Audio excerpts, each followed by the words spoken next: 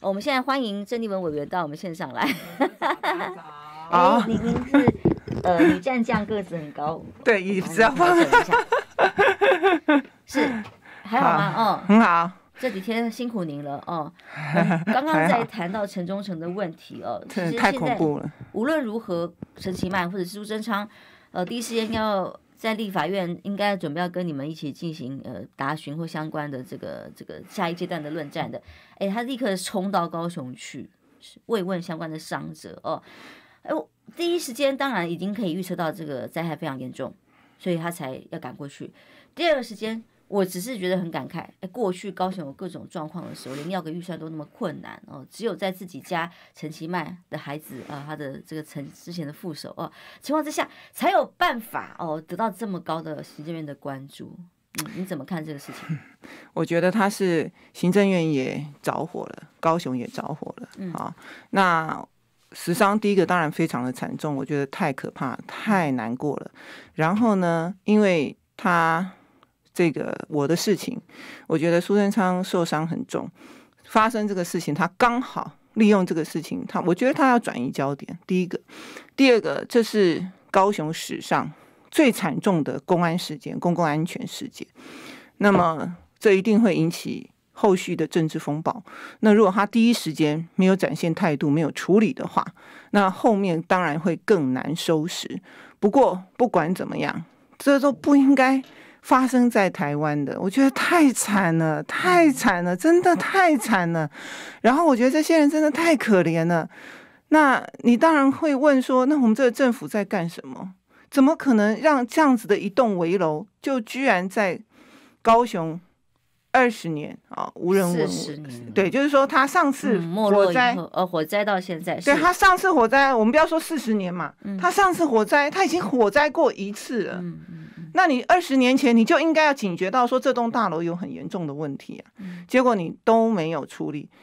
你想想看，这十年来，台湾发生过大大小小的火灾，再怎么样奇怪的火灾，都不会造成这么严重的伤亡嘛？那表示这栋大楼本身有非常非常严重的问题啊！啊、我觉得真的是差太惨了，我觉得太惨不忍睹了。嗯，因为首先这个大楼哦，其实很多在当地的记者，我自己个人是没有去过啦。嗯当地的记者他们自己曾经 PO 的文，我看到的就觉得也难怪，因为嗯他们自己去采访，当时这个大楼哦是。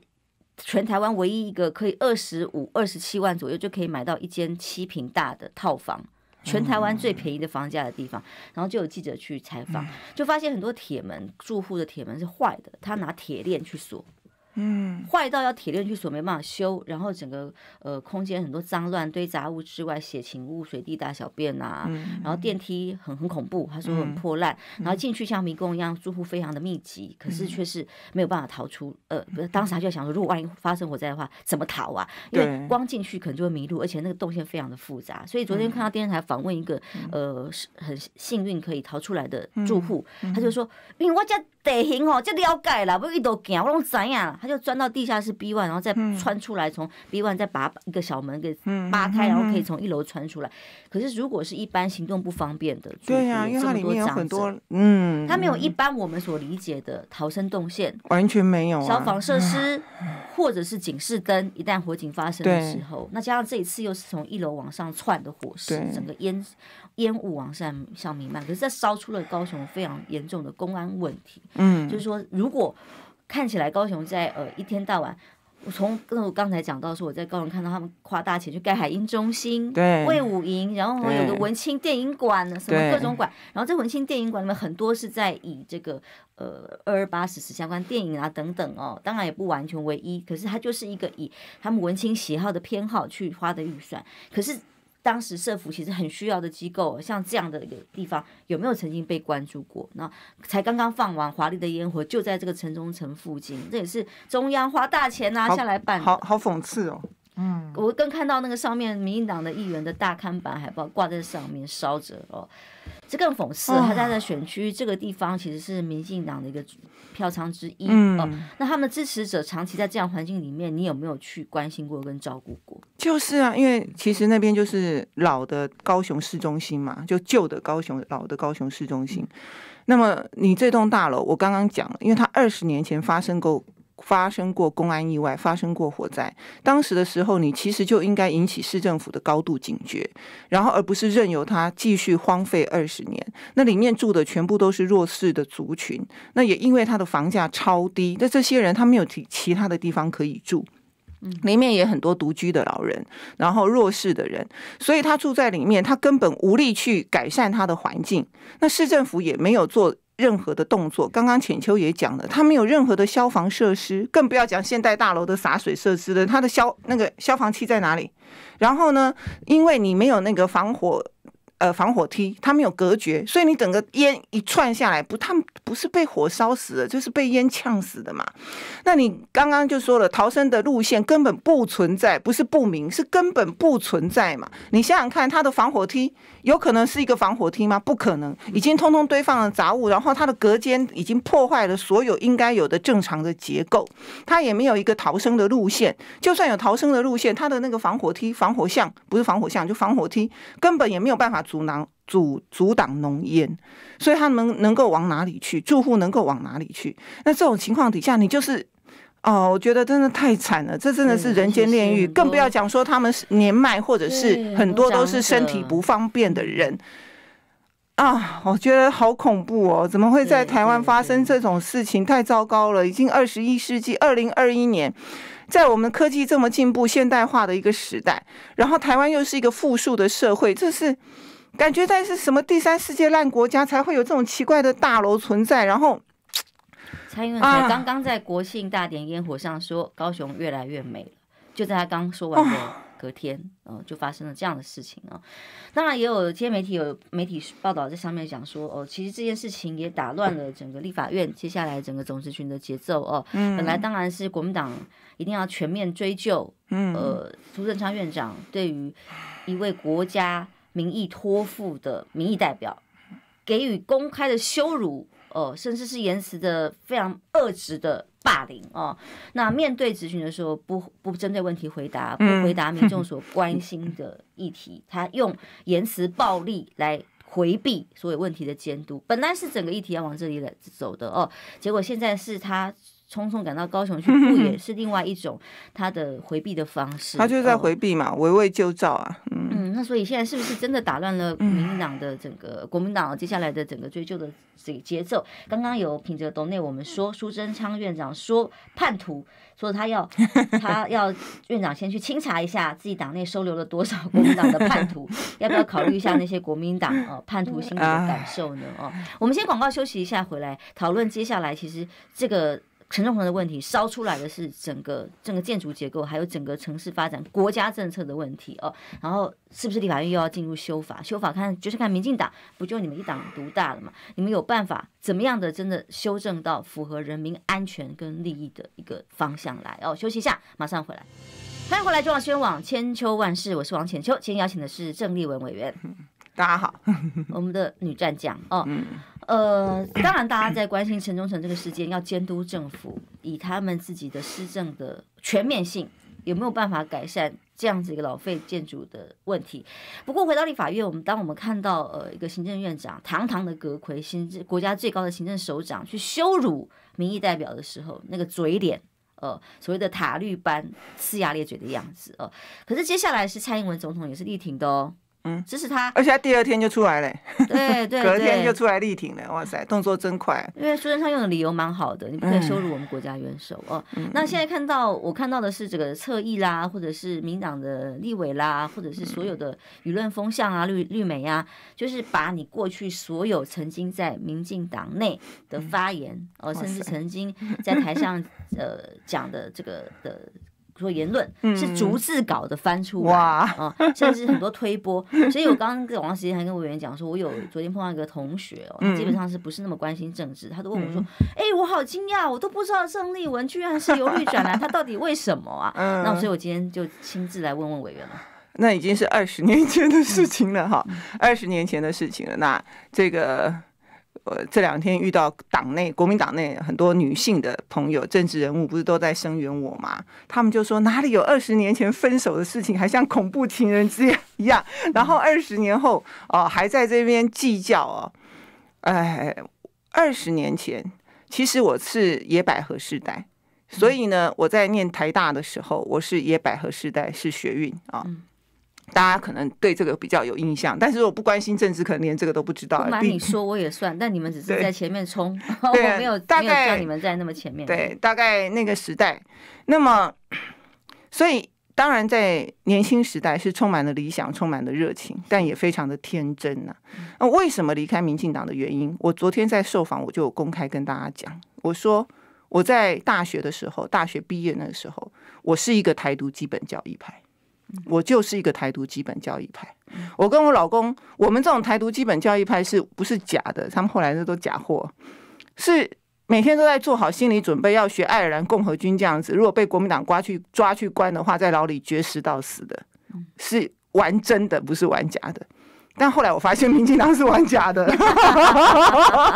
就觉得自己怎么好傻好天真啊！你知道吗？然后呢，你就想到父母把一个小孩拉拔到念到台大法律系，居然每天在想这种事情。然后呢，但是我还是参加了学运，我印象非常深刻。当时黄华因为主张台独案被抓去判十年，我在台大校门口绝食。我是一个台大的学生，那时候还是学生。结果呢，我就发现民进党的反应是觉得啊，不要啦。好，为什么？第一个很讨厌黄华，什么时候了还在讲什么台独啊？台独是票房毒药，还被抓去关十年。民进党要声援也不是，不声援也不是。事实上，那个时候民进党是不理他的。他被抓去关就算了，还有一个台大女学生跑出来声援他。绝食，我当时绝食不是说要主张台独啦，哈，那时候台大是说要主有主张台独的言论自由哦，在那个年代，那所以我就发现说，哦，原来是这样啊，哈，原来态度后面有这么多的政治算计，原来我出来力挺黄华，还被人被民进党的人嫌呢，我才发现说政治现实好像不是这样。那当然，这中间发生了很多的事情，要讲到以前的故事讲不完了。现在很多民进党的人，我在我参加民进党的时候，他们都还不知道在哪里，可能都在国民党吧。是，对对，没错。然后我就去去毕业了以后去美国念硕士嘛，念念完硕士回来之后不久，我就选国大代表，就是我在民进党里头唯一选过的一次举，也是苏贞昌说他有来帮我站台，他就帮我站过一次啦，就是我竞选总部成立的时候，还要我给他举他的手喊当算。对啊，我就很我都很好奇，他还真的。记得我都忘记了，老人家都只记得以前哎，那已经是二十，现在是不记得记得以前以前的事，那已经是二十五六年前的事了。各位不是五六天前的事，不是五六年前的事，是二十五六年前的事。我还多年轻啊！然后呢，我那时候也才二十五六岁。然后呢，我就当了国大代表。当了国大代表的时候，因为我是小党编啊，所以呢，当时。李登辉提两国论，大家记不记得？李登辉在一九九九年的时候提两国论，我的任期跟李登辉一样，九六年到二零年 啊，同那同一同样那个时候当的。哇，民党中央很紧张，召开中央核心会议找我们去开会去，我听了都傻眼。他们说他们赶紧派了肖美琴，现在的驻美代表去 A I T，去 A I T 干嘛呢？去 A I T 跟美国人保证。民进党绝对不会跟着李登辉的两国论起舞，因为太危险，你知道吗？好讽刺。对，你知道吗？九六年李登辉选总统，他是代表国民党选总统，而且他还通过国统纲领的人。但是当时为什么民进党提名的彭米米选这么烂？然后李登辉是压倒性、全面性的胜利，因为民进党人。都很喜欢李登辉，他那时候没有独派，他哪里敢讲独派？九六对彭明敏选的很烂，独派选的很烂，为什么？因为李登辉是台湾人，这样就够了。所以大家其实全所有人都心知肚明，民进党人就是挺李登辉嘛。我那时候在民进党内，我觉得很糟糕。我们在民进党里头，为了争取民主自由，这么多人坐牢干嘛的？怎么会去支持一个叛徒李登辉呢？没有，那时候想法就觉得李登辉是叛徒。对呀，你在国民党里头做官，然后帮国民党做事，他哪里就因为他是本省人吗？所以我才想说，原来你们通通只是省级情节而已嘛？好，后来李登辉不是主主主张两国论，那我想说。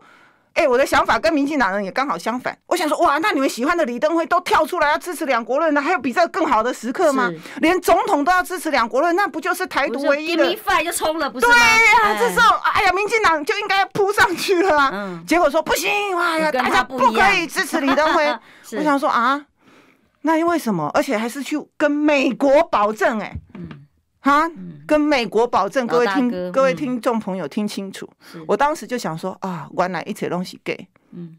所以后来我才去剑桥念书。那念书回来之后呢，我只是暑假上节目啊，当时发生了所谓的田耳案，就是这个涂醒哲说的啊。那我没有田耳案不是我，跟我没有关系，田耳案是李庆安，我只是上节目评论，我也没有说他怎么样，我只是说民进党那时候已经执政了。就是那个陈水扁已经选上总统了，所以呢，对陈水扁或者说对民进党执政很多的这种批评或负面的讯息，民进党一定要检讨，一定要搞清楚。我不就这样子而已啦。你们以为我说了什么？我什么也没说，就这样子而已。那陈水扁就受不了，就这样就受不了，就要开除我党籍耶，所以沈富雄才跳出来说：“你是有没有搞错啊？”我当时也才愣了一下，因为我那时候已经去念书了嘛，我国大已经做完了，我已经去剑桥念书了，我本来都不打算再从政了，你懂吗？我就要去把我的博士念完。我想说，哇塞，民进党怎么变成这样子？连讲都不能讲啊！那连检讨都不能检讨，连反省都不能反省啊！所以我已经要第二天坐飞机回剑桥念书的前一天呢、他都没有跟我讲，哎，就直接跟媒体讲说他们要开除我、哎，可以这样子要开除一个党员。那后来沈富雄就出来说不可以这样，所以他们就没有开除我，开除不成。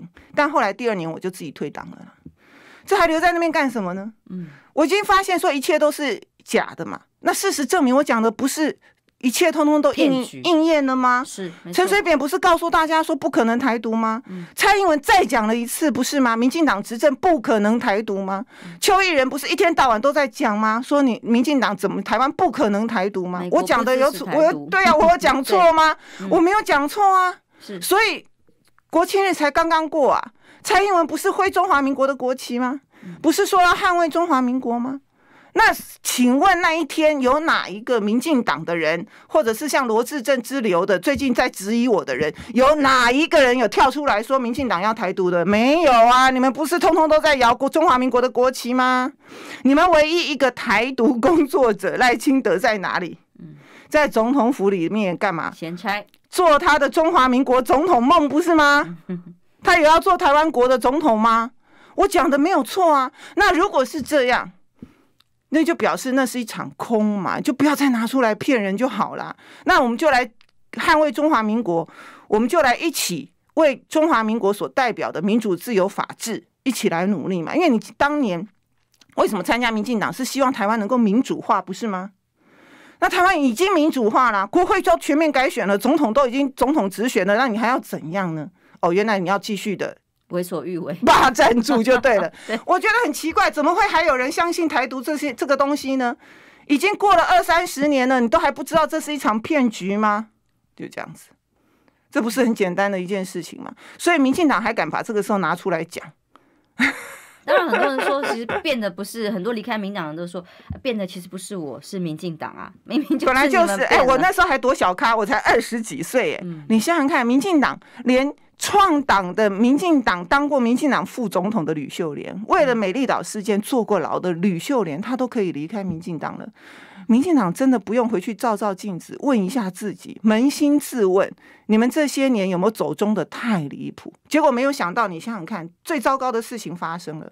我一离开民进党，陈水扁就是贪就是腐，没错，不过就是这样子，多难看呐、哎，这么多人坐牢，这么多人拼了半天，是让你们这样子贪腐的。那你就今天如果不是因为民进党的堕落，我印象非常深刻。两千年政党轮替的时候，其实大部分蓝军的人或国民党人都觉得说啊，也应该民主化了。所以陈水扁那时候上台是高达超过八成的支持度、哎。如果没有蓝军的人也支持的话，他怎么会有八成的支持度？大家都希望台湾能够进步，变成一个正常的民主国家，就来政党轮替。也很多很多的人，很多的蓝军都觉得说，哎，也让民进党做做看嘛。结果呢？啊，他怎么可以这么离谱啊？民进党怎么可以这么离谱啊？然后两千零八年这么难看的下台，然后一个堂堂一个总统，整个家族都在 A 钱，还被起诉。嗯，女婿要去坐牢了，那民进党有有真的去检讨过，说我们怎么会搞了半天这么多先烈先贤坐牢被抓，然后我们去却选出一个让台湾人丢脸的贪污总统？没有，从来没有过。啊，继续护航，然后又换了一个蔡英文。哎、请问蔡蔡英文不是国民党的吗？对，他才是真正的叛徒吧？蔡英文一路都是国民党提拔的、国民党的奶水跟奖学金，是他是国民党提拔的，然后在政党轮替的时候，李登辉就把他交给了陈水扁，他忽然间就在民进党执政的那一刻变成民进党，不是这样子吗？啊是，然后呢？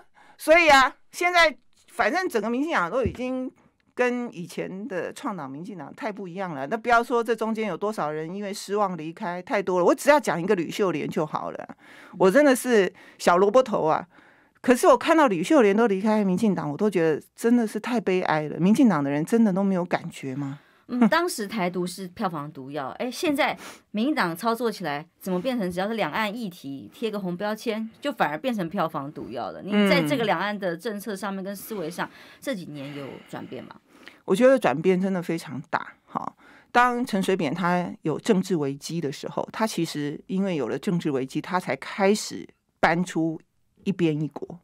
因为一开始大家还记得吗？他在老美的协助之下，陈水扁是向老美、向老共说了四不一没有。啊，就是选，我跟你讲嘛，选了半天，第一个上台执政的陈水扁，他也不是要台独嘛，他要四不一没有嘛，这就是国际现实。那大家认清现实，调整步伐，调整目标就好了，不要再讲台独党纲了。你做政治，你四年选举一次，你怎么可以跟大家讲一个可能要四十年、四百年后一个遥遥无期的的目标呢？好，那你陈水扁本来是四不一没有，他后来为什么翻脸变成一边一国？然后小布希跟他翻脸，小布希用脏话骂他、哎，拜托，为什么？因为他自己在岛内的贪腐、执政的失败，所以他开始用台独来动员岛内深绿的支持者，捍卫他总统的位置。他是因为他自己的政治危机在动员台独。就这么简单，然后这些所谓的台独力量，就一天到晚就变成这些政治人物拿来斗争的工具，拿来做遮羞布。今天陈柏维不就是这样吗？我看到今天代表台独出来的政治人物，居然是这种咖 哈！台独有你赵桃，对，跟对方喊话之后出事就跑吧。对，造逃 赌博这种啊。怎么会是这种咖在代表台独啊？是很多非常有理念，对，甚至不惜以生命牺牲去达成理念的这样的人。你看人家彭明敏是台大教授、欸，哎、嗯，那那个年代、欸，现在现在这个年代可能教授还不这么值钱了，对不对？嗯、那个年代，你看现在变台独变成是这样，然后你就拿着台独当遮羞布哦，因为我是为了台独，那所以呢，所以。就要让你这种人，我就跟你讲，台独现在已经沦为是这种工具了，一点神圣感都没有了嘛，你就变成了一个很奇怪的笑话、啊。然后，然后民进党的人更好笑，修宪也不敢修，什么也不敢碰，每天在那边摇中华民国国旗，像谢志伟一样。我不知道他们是摇的觉得很得意，还是摇的吐血，应该是很得意啦。这讲吐血就太离谱了啦！当这么大的官，领那么高薪水，对啊，领那么高的薪水，国家的驻德国的代表，就是、啊、多好的日子过啊！你看他们这些人，然后呢，敢做什么？什么都不敢做。我那天才会咨询苏贞昌啊。是啊，啊，你们这么支持美国，什么都听美国的，美国的政策就叫做一中政策，从来没改过，不管谁当总统，不管是哪一党的，不就是都是一个中国政策吗？什么时候可以让你有一中一台？是从来不可能。你只要民进党一开口讲一中一台，马上一个巴掌就扒下去，叫你民进党闭嘴，就是那个不乖。对啊，这就是美国大哥，我就亲眼看见的嘛。嗯，你还搞什么东西呢？还要继续骗，然后拿这个东西。在那边岛内搞对立、搞仇恨，你无聊嘛？你根本不存在的一个不可能的东西。然后呢，我们还民众之间彼此还在那边说：“哦，这个你在中国的，你在台湾的，莫名其妙。”大家都在台湾这块土地上面，就因为这样，民进党就是每次拿这个东西来做政治动员，所以才会导致台湾民主化以来，我们所有的政治全部空转，所有公共政策都不用讨论。只要民进党公输立的公啊，你你你是中国派的，我们是台对，就每次都拿这个东西出来讲，他只要讲输人家，那一天苏贞昌也是。一模一样，他就是讲，哎，我好好的问他，我也没有为难他，你不管答什么我都可以，我就问国防部长，他自己在那边鬼打墙，他自己答不出来，他自己发现他自己糗了以后，哦，就更小灯行体，然后就开始骂骂说我们要投降，你神经病啊，你不是神经病吗？我跟你讲。两岸如此以来，一九四九年之后，国民党有投降过吗？古林头谁去打的？是八二三谁去打的？流血生命、哎，是是冒着生命危险，死了多少人？你知道吗？你民进党为了捍卫台湾，死过几个人？谁流过血了？你告诉我，你怎么好意思这样子讲呢？所以我才会说，哎，他问了我六次、哎，我我的修养还不够好吗？我就一直问他说，我现在是要问你，你要不要核子动力潜舰嘛？他也搞不懂核子动力潜是舰。他还问我说，那你是不是要航空母舰？对，哦，你把帮下来。就要买航空母舰的事，什么都他把你把它扯上，就是一个天方夜谭一样。可是其他国家是有这样的战备部署、对，立马啊。，而且立马帮帮忙。现在谁谁要买航空母舰，还买买航空母舰是要干嘛啦？核子动力潜舰最厉害，对就是要核子动力前线。嗯那你不要也可以，你跟我讲一个理由就好了嘛。对，他说不出来啊。你说要还不要，我就来问国防部长，我也没有要为难他，他自己在那边非要，哎，他就讲不出来了。我问他，我前面就问他，蔡英文的国庆谈话，很多人说他是两国论，那说中华民国、中华人民共共和国互不隶属嘛？啊，大概听阿伯啊，说这样，所以我就问他说，有争议啦，我就问他说，那到底这是一个中国还是两个中国，还是一中一台？他也讲不出来，你很奇怪。我就问他说，那很多学者说这是两国论，是吗？是两国论还是一国论？他也讲不出来。蔡英文前一天才讲你是行政院长哎、你你是第二把交椅哎、蔡英文是第一把交椅，才隔一天而已、啊！嗯你这这时候是最好的时机，你应该出来解释说明啊！蔡总统是什么意思啊？嗯啊，也讲不出来。我告诉你，这就是民进党最大的矛盾嘛，他就是被我踩到痛脚了，没错，所以他就想说，那我反咬你一口。最了解他们的人。对他只好反咬你一口，就问了我六次，说你们是不是要投降？我想说，你拿着扫把要去跟老共干，你就是要投降嘛。解放军听到说，哦，原来台湾台独的这个行政院长只是要，你这不是跟挂五星旗欢迎他们来有什么差别啊？对好像打库斯达拿拿那个扫把出来一样的对啊，我听到他一边提扫帚盖表，我们的婚期啊，我对他多好，我就你不要拿扫帚，对不对？你要不要来个核子动力潜舰？安内靠五好。当年两蒋是要发展核武的啊、是被美国硬生生挡下来的，这才叫做防卫决心，好吗？是，啊今天因为委员要提早十分钟走，我们这一节的广告晚一点进，让他讲到最后可以十分钟左右，因为要赶到立法院去，所以呢。郭明栋要硬起来啦，大家都这样说哦，因为里面最硬的已经是郑丽文委员了，已经是现在大家知道原因了吗？因为我是从民进党过来的。你是最了解民进党，所以一脚抬到痛没有啦痛处，国民党要吵架骂人，也绝对赢国民党的那一种啊。因为国民党真的是温良恭俭让，国民党就是一群好人呐、乖宝宝。我们看他们推，上次看他们推倒议事台的桌子，都还拍谁拍谁，不好意思，我把桌子推倒了。所以啊，这种国民党怎么可能做出什么坏事啊？啊！你看那时候马英九当总统的时候，他多乖啊！嗯，所以现在怎么办？本来是今天要先提告，但延到礼拜一去告提告诉。那现在在我看到民进党的一些委员哦，守轮番守在门口，在那边职业，我觉得有点好笑了，因为明明有钥匙走后门就好了嘛。他们上次不是 走后门就走捷径上去啊，我还录影哦，很得意啊。他们有后门可以走啊，所以他们这场是演给媒体看的，说也不要让你们这些委员像上次你们呃郑陈玉珍哦，还拿了床垫去那里睡嘛哦，那是哎呦，他们何必呢？在镜头上我而已啊。哎，我是觉得苏贞昌讲个七十，讲个七十归回啊，你为什么连一点点最基本的民主素养跟风度都没办法展现呢？对不对？啊，你就是大大方方的跟大家道个歉嘛。你气不过，你不想跟我道歉没关系啦，你可以跟国会道歉嘛，你可以跟国人道歉嘛，你可以说啊，我一个行政院长，我当时失言了。嗯，对不对？我在国会殿堂这样子是做了不好的示范，我向国人道歉，可以呀、我这个人，我本来也就不计较啊，我也不，我我也没有在，他可以不用跟我道歉，真的不需要。可是我觉得他应该跟国会道歉。